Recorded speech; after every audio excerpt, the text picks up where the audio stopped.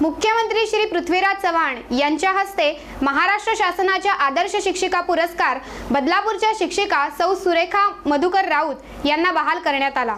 या पुरस्कार समारंभाचे आयोजन कोल्हापूर येथे करण्यात आले होते. बदलापूर विकासने सौ राऊत यांची खास मुलाखत घेतली. प्रथम तुम्हाला महाराष्ट्र राज्य शासनाचा आदर्श शिक्षिका पुरस्कार मिळाला आहे त्याबद्दल बदलापूर विकास खूप खूप शुभेच्छा. हा पुरस्कार मिळाल्याबद्दल कसं वाटतं तुम्हाला?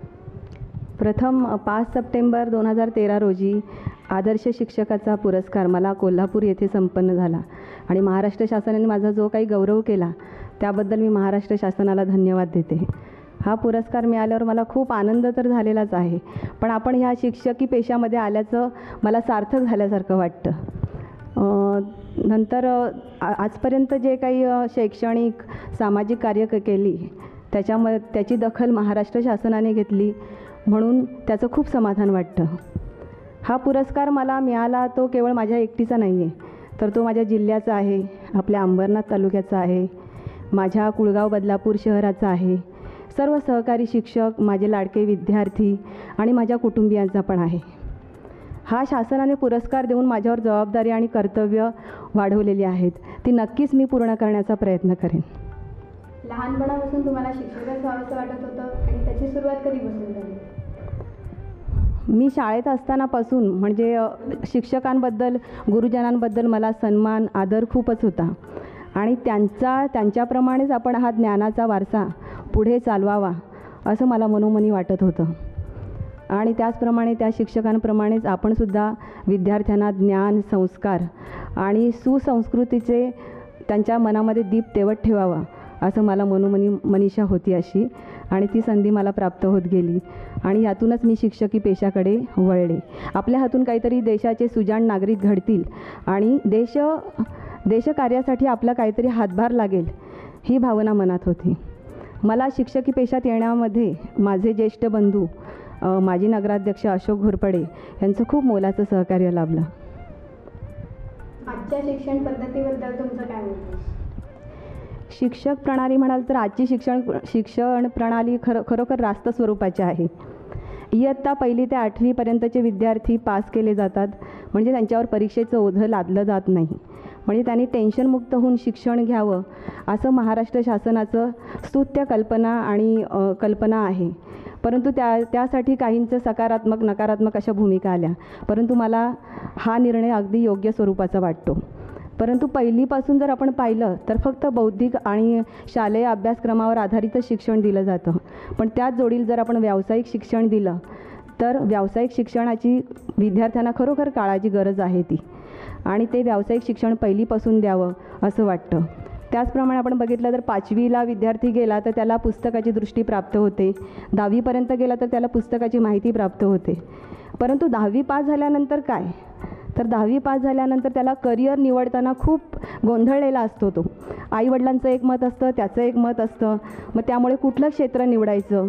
याबाबत त्याची द्विधा मनस्थिती असते. मग अशा स्वरूपाचं करिअर मार्गदर्शनाचं प्रशिक्षण त्यांना जर आठवी नववीपासून जर सुरू केलं तर त्याला पुढे ही चिंता त्याच्यापुढे उपस्थित होणार नाही आणि त्याला मनासारखं त्याचं करिअर करता येईल. आजच्या काळात शिक्षकांना शिक्षकांची स्वतःची ड्युटी सोडून जनगणना किंवा इलेक्शन ड्युटी या ज्या गोष्टी कराव्या लागतात त्याच्याबद्दल तुमचं काय म्हणतं ॲक्च्युली जनग जनगणना आणि इतर निवडणुकीची कार्य ही शासनाने शिक्षकांवर सोपवलेली आहेत. कारण शासनाच्या निर्णयानुसार की शिक्षक हा सर्वात विश्वासपात्र अशी व्यक्ती आहे. समाजातला आधारस्तंभ वगैरे असा आहे.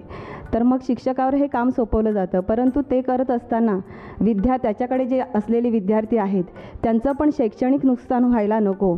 याकडे पण शासनाने थोडं लक्ष दिलं आणि ते काम जर त्यांच्याकडनं काढून घेऊन जर सुशिक्षित बेकार आहेत त्यांना जर दिलं तर हा प्रश्न नक्कीच मिटेल. सामाजिक कार्यात तुमचा एवढा हातभार आहे तर तुमचा नवीन काही उपक्रम आतापर्यंत मी सामाजिक कार्य करताना बदलापूर गावातील आदिवासी वाडी आहे. त्या वाडीमधील महिलांना मी साक्षर केलं. म्हणजे सुरुवातीला त्या महिलांचा काही मला प्रतिसाद नव्हता परंतु मी त्यांच्या पाठपुरावा त्यांचा करून हळूहळू माझ्या प्रशिक्षण वर्गाला महिलांची उपस्थिती लाभायला लागली आणि त्यांना लिहिता वाचता यायला लागलं. आणि ते मला खूप मोठं असं काम माझ्या दृष्टीने वाटतं. त्याचप्रमाणे इथे बाजूलाच मोहपाडा म्हणून आदिवासी वाडी आहे. तिथे पाण्यासाठी खूप चणचणं असते वणवण त्यांना फिरावं लागतं.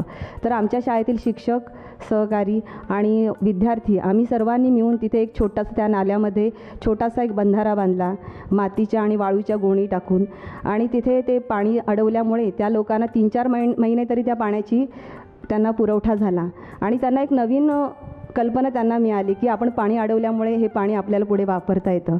अशा प्रकारे आम्ही त्यांचा पाण्याचा प्रश्न सोडवला. त्याचप्रमाणे बदलापूर अल्कोहोलिक्स ॲना अनानिमस प्रसन्नता समूह ही मुंबईची संस्था आहे. ती बदलापूरमध्ये पण व्यसनमुक्तीचं कार्य करते. तर त्या ह्या व्यसनमुक्तीच्या त्या संस्थेमध्ये मी स्वतः जाऊन तिथे व्यसनमुक्तीबाबत लेक्चर व्याख्यान वगैरे देण्याचं काम करते. त्याचप्रमाणे अंधश्रद्धा अंध अंधसंस्था आहेत. त्यांना विद्यार्थ्यांच्या खरी कमाईमधून मदत मिळवून देते. नवदुर्गा वृद्धाश्रम सत्कर्म बालकाश्रम यांना आमच्या कुवतीप्रमाणे भौतिक आर्थिक सुविधा देण्याचा प्रयत्न करतो. आमच्या विद्यार्थ्यांच्या मदतीने तिथे मनोरंजन मनोरंजनाचे आध्यात्मिक कार्यक्रम राबवतो. त्याचप्रमाणे राष्ट्रीय क कीर्तन महोत्सव हे बदलापूरमधला मोठा उत्सव आहे. तर त्या महोत्सवामध्ये सुद्धा आम्ही दिंडीमध्ये सहभाग घेतो. त्याचप्रमाणे कीर्तन भजन याच्यात सहभाग घेऊन आम्ही आध्यात्मिक आनंदसुद्धा लुटतो. पूर्वीच्या शाळा आणि आत्ताच्या शाळा यांमध्ये तुम्हाला काय फरक पडतो? पूर्वीच्या शाळा आणि आत्ताच्या शाळा. पूर्वीचं शिक्षणसुद्धा चांगलं आपल्या वेळेचं शिक्षणसुद्धा चांगलं होतं. परंतु एवढं आधुनिक तंत्रज्ञान नव्हतं. आता तन आधुनिक तंत्रज्ञान उपलब्ध झाल्यामुळे वेगवेगळ्या आपल्याला गाईड्स मिळत गेल्यामुळे शिक्षण प्रणालीमध्ये सुधारणा घडत गेलेली आहे. आणि आज आपण पाहिलं तर देश अगदी ह्या शिक्षण प्रणालीमुळेच प्रगतीपथावर आ- आलेला आपल्याला दिसून येतो. शिक्षकी पेशांमध्ये येणाऱ्या मुलांना किंवा आत्ताचे शिक्षक आहेत त्यांना तुम्ही काय संदेश द्याल? शिक्षकी पेशा हा अतिशय पवित्र आणि पावन असं क्षेत्र आहे. आणि ज्यांनी हे क्षेत्र निवडलेलं आहे तर ते खरोखरच भाग्यवान आहेत असं म्हणावं लागेल. कारण आज आपल्या हातून हजारो देशाचे भावी नागरिक घडवून जाणार आहेत. आणि मग ह्या नागरिकांना घडवताना आपण स्वतःला झोकून दिलं पाहिजे. आपल्यामध्ये अपेक्षित वर्तन बदल घडवून वेगवेगळ्या कल्पना राबवून आपण आपल्या व्यक्तिमत्वाचा ठसा उमटवला पाहिजे. तसंच वेगवेगळ्या अध्यापन पद्धती तंत्र क्लुप्त्या राबवल्या पाहिजे संशोधन वेगवेगळं केलं पाहिजे. आणि अशा प्रकारे शिक्षण शिक्षण क्षेत्रामध्ये आपण अशी भरीव कामगिरी केली पाहिजे. जर आपली भरीव कामगिरी असेल तर त्याचं फळ आपल्याला नक्कीच मिळतं. त्या उद्देशाने आपल्या देशाचे भावी नागरिक घडवण्याच्या उद्देशाने आपण चिमुकल्यानं मार्गदर्शन केलं पाहिजे. मी आज इथे महाराष्ट्र शासनाचे कुळगाव बदलापूर नगर परिषदेचे आणि बदलापूर विकास या वाहिनीचे धन्यवाद देते.